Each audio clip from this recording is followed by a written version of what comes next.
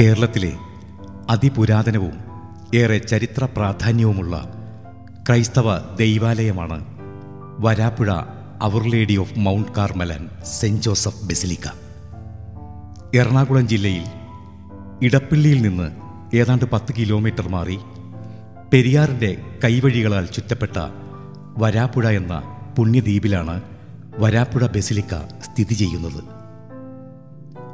കരമാർഗവും ജലമാർഗവും വരാപ്പുഴയിൽ എത്തിച്ചേരാവുന്നതാണ്. കൊച്ചുറോം എന്ന പേരിൽ പ്രശസ്തമായ വരാപ്പുഴ കേന്ദ്രീകരിച്ചാണ് പതിനാറാം നൂറ്റാണ്ടിന്റെ മധ്യദശകം മുതൽ കത്തോലിക്ക മിഷണറിമാർ കേരളക്കരയാകെ ക്രൈസ്തവ വിശ്വാസ ചൈതന്യം പരത്തുകയും നവോത്ഥാന പ്രവർത്തനങ്ങൾ വ്യാപിപ്പിക്കുകയും ചെയ്തത്. വിരിദാരിയും ഒറിയന്താലെ എന്ന ഗ്രന്ഥത്തിന്റെ സൃഷ്ടാവും സസ്യശാസ്ത്രജ്ഞനുമായ മത്തേവൂസ് പാതിരിയാണ് ഡച്ച് ഗവർണറായിരുന്ന ഹെൻറിക് വാൻ റീഡിന് ഹൊർത്തൂസ് മലബാറിക്കൂസ് എന്ന വിശ്വപ്രസിദ്ധമായ ഗ്രന്ഥം രചിക്കുന്നതിന് വേണ്ട എല്ലാ ഒത്താശകളും ചെയ്തു കൊടുത്തത്. ഇതിൽ പ്രീതനായ ഡച്ച് ഗവർണർ ആയിരത്തി അറുന്നൂറ്റി എഴുപത്തി മൂന്നിൽ വരാപ്പുഴയിലും ചാത്യാത്തും ദൈവാലയം പണിയുവാൻ അനുവാദം നൽകുകയും മത്തേവൂസ് പാതിരി ദൈവാലയം പണി കഴിപ്പിക്കുകയും ചെയ്തു. വരാപ്പുഴയിലെ ആദ്യ ദൈവാലയം റോമിലെ വിശുദ്ധ പത്രോസിന്റെ ശവകുടീരാലയത്തിന്റെ മാതൃകയിലാണ് നിർമ്മിക്കപ്പെട്ടത്. ആയിരത്തി അറുന്നൂറ്റി എഴുപത്തഞ്ചിൽ മത്തേവുസ് പാതിരി ഒരു ആശ്രമവും സെമിനാരിയും വരാപ്പുഴയിൽ തന്നെ സ്ഥാപിക്കുകയുണ്ടായി.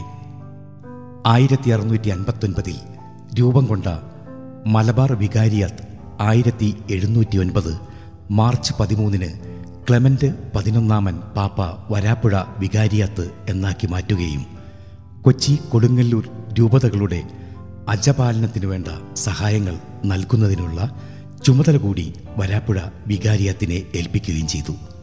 ആയിരത്തി തൊള്ളായിരത്തി മുപ്പത്തി ആറ് വരെ വരാപ്പുഴ ദൈവാലയം കത്തീഡ്രൽ ദൈവാലയമായി പ്രശോഭിച്ചു. മലയാള ഭാഷയിൽ ആദ്യത്തെ വ്യാകരണ ഗ്രന്ഥം രചിച്ച ബിഷപ്പ് ആഞ്ചലോ ഫ്രാൻസിസ് വില്യോത്തി വരാപ്പുഴയിലാണ് അടക്കം ചെയ്യപ്പെട്ടിരിക്കുന്നത്. ആയിരത്തി എഴുന്നൂറ്റി അറുപത്തൊന്നിൽ മലബാർ യുദ്ധം ജയിച്ചു വരുന്നതുവഴി തിരുവിതാംകൂർ മഹാരാജാവ് രാമവർമ്മ എന്ന ധർമ്മരാജ വരാപ്പുഴയിലെത്തി ഫ്ലോറൻസ് മെത്രാനെ സന്ദർശിച്ചത് തിളക്കമാർന്ന സംഭവമാണ്. ആയിരത്തി എഴുന്നൂറ്റി എഴുപതിൽ വരാപ്പുഴയിലെ ജനങ്ങൾക്ക് നികുതിയിൽ നിന്നും ഒഴിവ് നൽകുകയുണ്ടായി. കൊച്ചി രാജാവും വരാപ്പുഴ സന്ദർശിച്ചിട്ടുണ്ട്.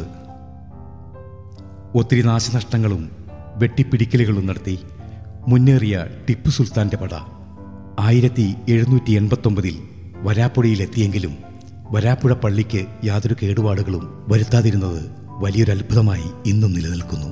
ആയിരത്തി എണ്ണൂറ്റി പതിനേഴിൽ വരാപ്പുഴ ദൈവാലയത്തിൽ വച്ചാണ് വിശുദ്ധ ചാവറ കുര്യാക്കോസച്ചന് അസ്തപ്പാട് പട്ടം നൽകിയത്.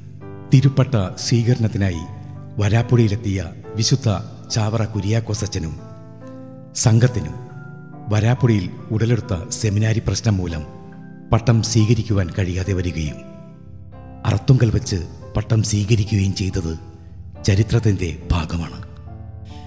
ആയിരത്തി എണ്ണൂറ്റി മുപ്പത്തെട്ട് ഏപ്രിൽ ഇരുപത്തിനാലിന് ഗ്രിഗറി പതിനാറാമൻ പാപ്പ പുറപ്പെടുവിച്ച മുൾത്ത പ്രൈക്കാര എന്ന തിരുവെഴുത്ത് പ്രകാരം കേരളം മുഴുവനും കന്യാകുമാരി മുതൽ കർണാടകയിലെ ഉടുപ്പി രൂപതയുടെ വടക്കേ അതിരായ പൈന്തൂർ വരെ എണ്ണൂറ് കിലോമീറ്ററോളം ദൂരത്തിലുള്ള സ്ഥലങ്ങൾ വരാപ്പുഴ വികാരിയത്തിന്റെ പരിധിയിൽ വന്നു.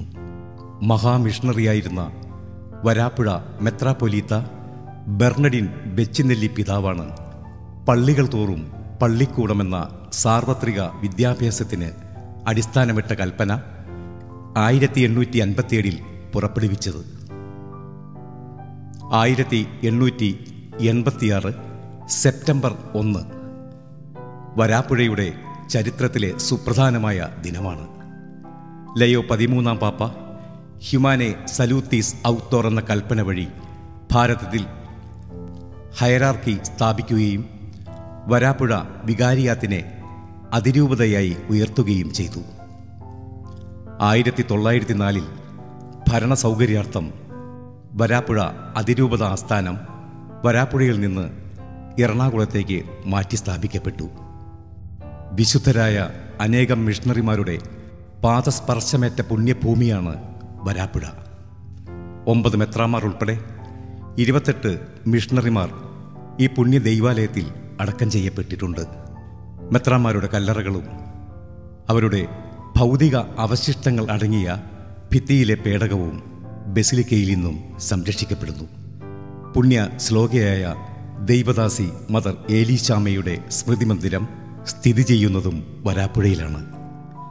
ആയിരത്തി അറുന്നൂറ്റി എഴുപത്തി മൂന്നിൽ മത്തേവു സച്ചൻ പണിത ദൈവാലയം വിവിധ കാലഘട്ടങ്ങളിലെ പല മിനുക്കുപണികൾക്കു ശേഷം ആയിരത്തി തൊള്ളായിരത്തി ഇരുപതിലെ അതിവർഷത്തിൽ തകരുകയും ഇന്നു കാണുന്ന ദൈവാലയം ആയിരത്തി തൊള്ളായിരത്തി ഇരുപത്തിയൊന്ന് ഡിസംബർ ഇരുപത്തിയേഴിന് ആദ്യകല്ല് സ്ഥാപിക്കുകയും ആയിരത്തി തൊള്ളായിരത്തി ഇരുപത്തിമൂന്ന് മെയ് മാസം ആശീർവദിക്കുകയും ചെയ്തു.